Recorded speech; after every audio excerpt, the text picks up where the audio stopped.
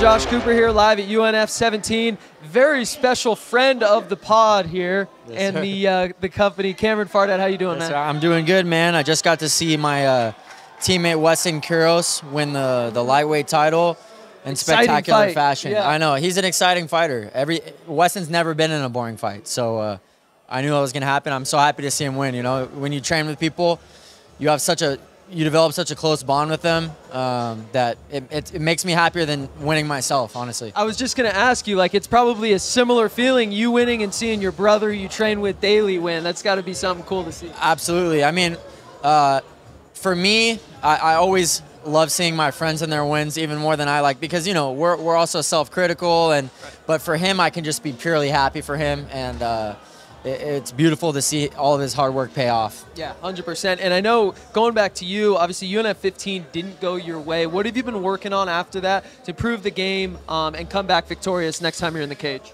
Um, so one thing about that fight that I never really considered being a jiu-jitsu guy myself is uh, that sometimes it calls for me to be sort of an anti-grappler, the game plan, and, and to box. And uh, my boxing uh, was working out really good, and uh, and uh, my opponent, all respect to him, um, but he he didn't really want to box with me. He really wanted to wrestle, and uh, it makes sense to take the the easier road rather than trying to wrestle someone who wants to wrestle.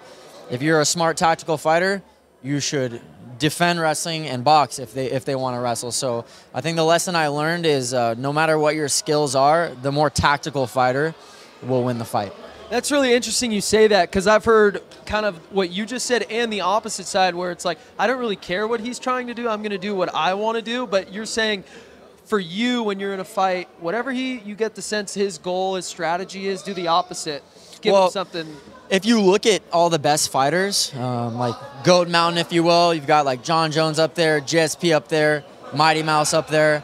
Um, those guys are all heavy into studying film, and they're very heavy into their tactics. Sure, there's like a, a Khabib Right. who had the same tactic for every fight.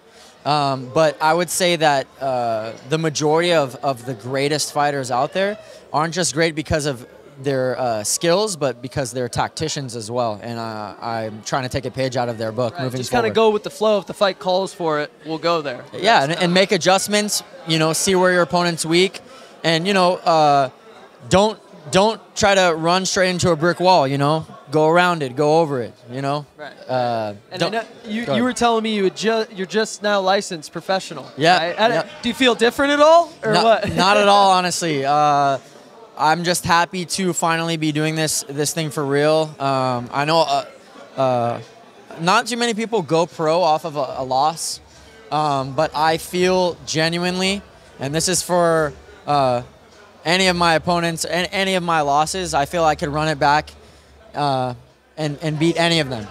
Uh, and I think as fighters, they probably feel the same way too. So, all respect, but uh, I don't think that the loss diminished me at all, and uh, I think that I'm I'm ready to take it to the next level. Yeah, no, and I can kind of sense that, right? It was it a loss? Yeah, but you have so many things to kind of like learn from, Yeah. right? To where to make you a better fighter. So it makes sense why you're going pro. Like Yes, that sir. was that was inevitable, right? It's cool to see that it, it just happened. Now, do we know? Do you know at all when that first pro fight's going to be? You know, I really wanted to fight today, uh, and it didn't work out. So I'm just gonna have to talk to, to George and uh, see what works out. Nothing's set in stone right now, but uh, I'm I'm I'm gonna be a part of the Up Next family forever. You know, I love this organization. I, I love the Buckners. I love I love the people that that run this. So um, as soon as possible. Hell yeah! Well, we're definitely looking forward to it. Big fan of this guy, Kameron Fardad. We're gonna let him enjoy the night. Uh, but thank you for Thank the you, time. brother. Thank you. Appreciate you. it. Signing off. Thank you.